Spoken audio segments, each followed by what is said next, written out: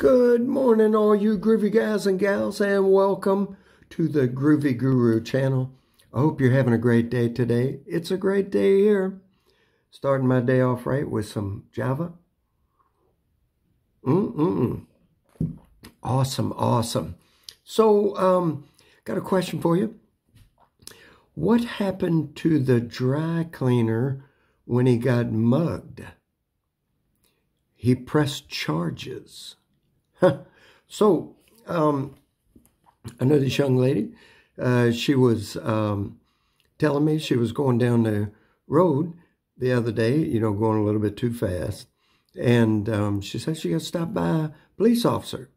And um, the police officer asked her for her license.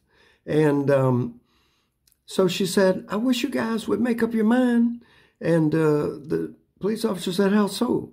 Said, Well, just yesterday you took it away from me, and now today you want to see it again. Please make up your mind. So I'm hoping that you went from here